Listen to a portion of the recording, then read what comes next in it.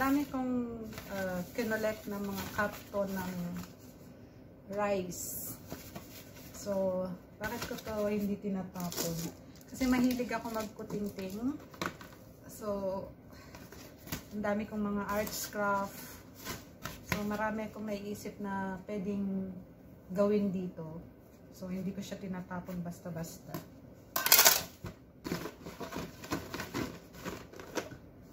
Kasi, lately panay rice ang kinakain namin.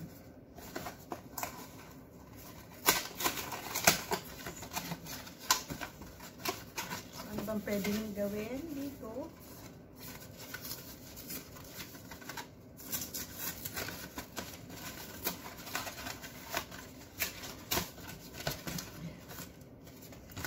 Pwede siyang gawang, gawing album, actually. Maggawa uh, ng album. So, lalagyan lang ng mga colored papers or kung ano man mga design dito. Tapos, pwede itong maging uh, photo album. So, hindi uh, hindi tayo gagastos ng mas mara maraming uh, kung ano-anong bagay. So, kung mahilig kayo sa arts craft, medyo mag invest kayo ng mga gamit para mapabilis ang paggagawa. Pero okay lang din naman kung mga simpleng tools lang, okay lang din. Pero kung meron din naman kayong um, uh, may ipon na pambili, so ito yung maganda investment. Cutter siya. Sa Pilipinas, meron din ako nito. May nabibilin to mga worth yung nabili ko ata less than 500 yun eh. Sa warehouse, office ba yun? Para siyang National Bookstore. Ano ba yun? Nalimutan ko yung office supplies ba yun tawag doon. Nalimutan ko na eh. Basta kulay yellow yung logo. So, bumili ako ng ganito. Para yung simple na lang yung mga cutting-cutting ng mga, lalo na mga karton, mga simple. So, nag-invest din ako kasi uh, hilig ko rin yung mga arts scrap and arts scrap and recycling. So, yan, nung nandito na ako sa Germany, dito ako nakabili ng ganito.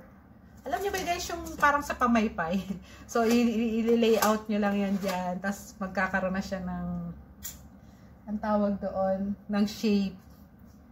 Kunyari, ah, ganito, ah, ganito siya. Gawa tayo ng isang papel, para isang sample. Gawa natin ng isang sample. Ayan. Dami ko mga binibiling papel. Kunyari. Ito siya. So, guguhit, uh, may mga, ano yan eh, pattern lang yan. Kung ilang centimeters,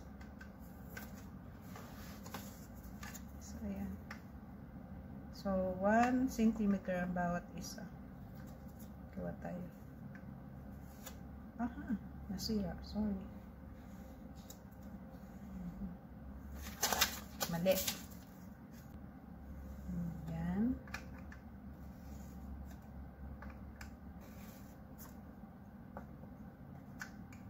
Naalala ko yung paggagawa ng pamaypay. Parang yan lang siya. Nagkaroon lang siya ng line. So, titiklop mo na lang siya. So, ayan. Parang ang bilis na siya. Parang. So, sa pantay-pantay siya.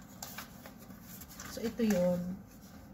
Uh, scoring board ang tawag. Scoring board ni Martha Stewart.